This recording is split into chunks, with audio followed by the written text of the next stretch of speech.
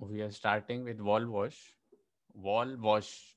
So this is the wall of the tank and we are washing with methanol to collect the sample to know how clean is the tank.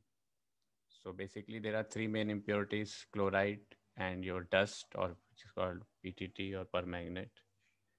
So dust, PTT, PTT and uh, these things we are checking for uh, uh, impurities of the tank. So let's see how we do a wall wash test. We go into the tank and with all uh, enclosed space entry precautions and we collect the sample from the tank. So we spray some methanol, pure methanol on the bulkheads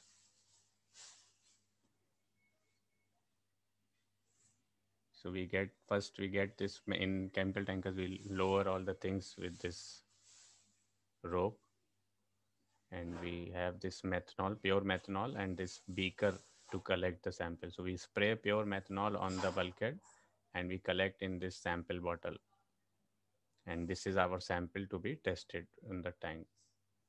So we this is our we all uh, chemical tankers will have a chemical lab like this, and you can see we have this uh, all these uh, chemical gloves and uh, chemical suits torch special all equipments which are required for this thing.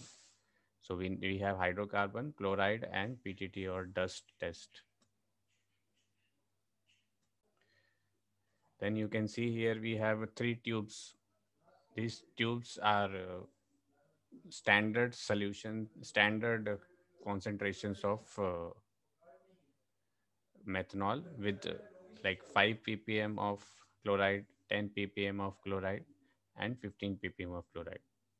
And then we will put in one more uh, test tube. We will put the present sample with some chemicals and we will check comparing with them with which one is it matching to get how many chloride ppm is there in our sample. And that means how much chloride is there in our tank so from the charter, we will get some instructions that after cleaning, your tank should have 15 ppm of chloride maximum or 10 ppm.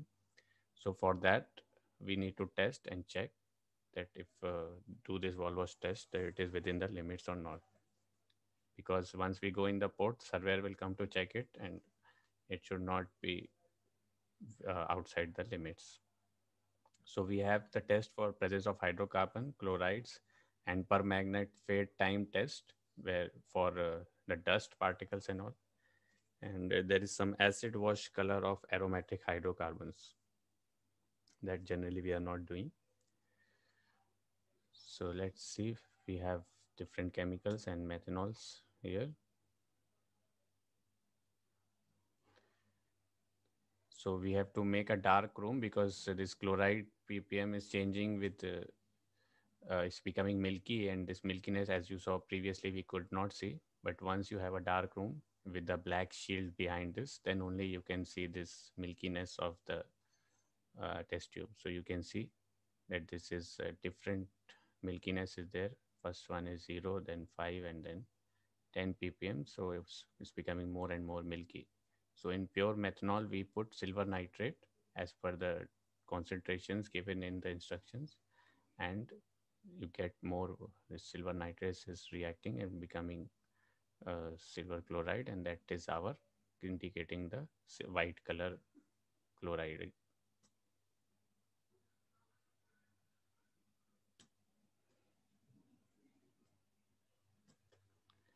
So this is our uh, chief officer who has brought the sample from the tank and these are the test tubes. This is, he is held, holding pure methanol in his hand.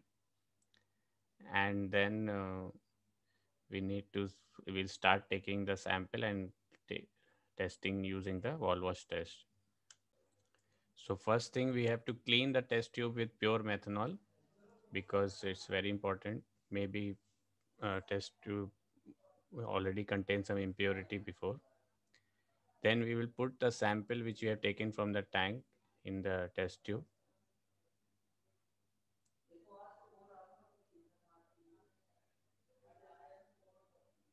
So we clean the test tube with pure methanol and then we uh, take the sample of tank and then we have DI water, distilled water.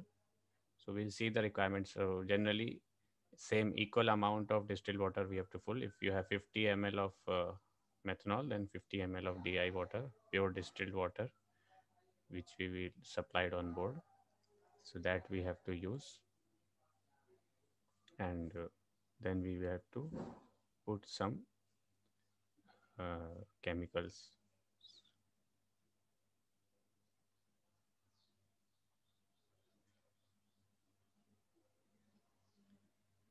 Then next already, as I told you, we have already have a prepared uh, solution. So one test tube is pure methanol and one test tube is the sample from the tank. And pure methanol also 50 ml, met, uh, like 25 ml methanol and 25 ml di this thing.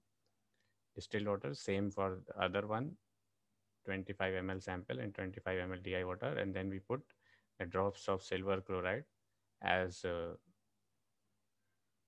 as per the instructions of wall wash test. And then we keep it for some time and then we uh, make this room dark to check the whiteness which can be seen in the whiteness and behind the black screen so you make the room dark you take a torch and you can see how much milkiness is there and with experience and with the standard solutions which we saw we can make out that how much chloride ppm is there so with like this, we check take the wall wash test to get the chloride uh, ppm in the tank. You can see this standard solution, how it is looking like. And the sample, how it is looking like. So you have to mark it. Sometimes you get confused which was the standard solution and which was the sample. So first we mark it or they are generally pre-marked and kept. So as we as we saw, we have these three tests. One is for the color, which is called the permanganate test or PTT test. Then we uh, for the suspended matters, and then we have hydrocarbon, and we have the chloride test. So let's see for hydrocarbon, what we are doing same hydrocarbon together with water, they form a milky solution. So same Chloride also forms a whitish or uh, milky solution and hydrocarbons also. So uh, for 50 ml of wall wash methanol, we add 50 ml of DI water. So equal amounts of methanol and equal amount of DI water, same ratio. The mixture has to be shaken and allowed to stand for 20 minutes. So initially there will be whiteness and slowly, slowly it will reduce. And uh, this is called Nessler's tube or test tube then we take uh, one was with sample and one will be a standard solution. So one will be with the sample from the tank and one will be uh, from pure methanol. And with a black sheet behind, switch off the lights and we will shine the beam on the one side of the tube, not from the exactly bottom as we were doing. That it will be a little bit from the side. And we will look into the tubes from top for any whiteness or turbidity. So if there is a cloudy appearance, then uh, that means the hydrocarbons are too high after 20 minutes or although and tank needs to be washed with methanol again. So this is the remedy. We will discuss with some remedies in the next session. Then next we'll see the chloride test. What are the requirements? So we have a standard solutions as we saw 10 ppm standard chloride solution. So this is how we will make. We will take 2 ppm uh, solution. We take pure methanol 50 ml and we have we take uh, 10 ppm standard chloride solution or we have what you call silver chloride and we have a distilled water 38 cc and 20% uh, nitric acid solution. So we will form silver nitrate with this and AgCl. Then 2% silver nitrate solution of 2 cc.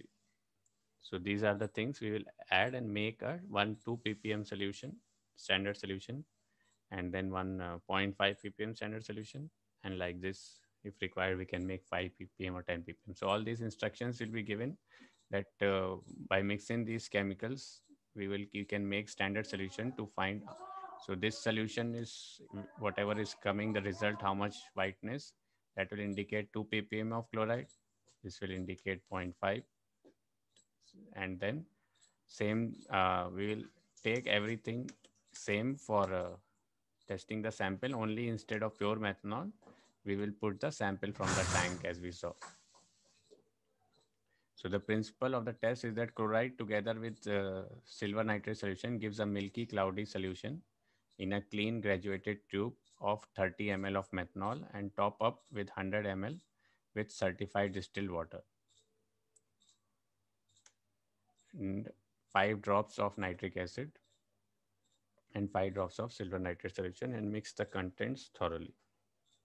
Before adding silver nitrate, take the reading. If there is a reaction between nitric acid and wall wash sample, there is something else left on the coating which are not chlorides and the tank will be rejected. Main procedure is same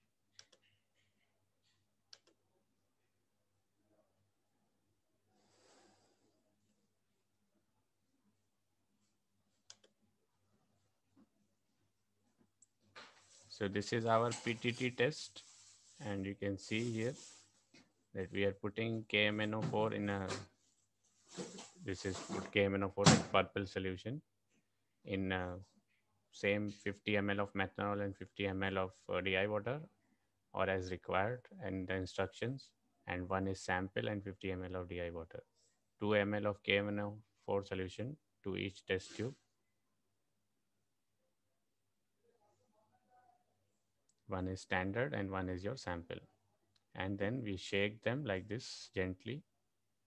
And uh, by putting after putting the stopper. And uh, then we wait for time for the color change. And keep recording the time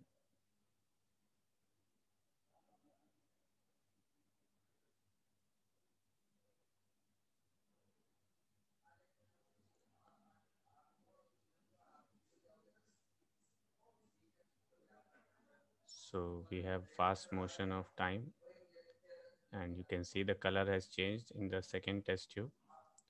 First one was the standard.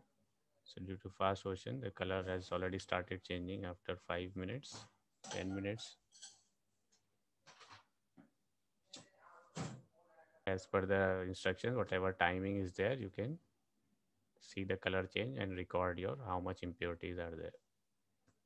Okay, so that's all about uh, wall wash test.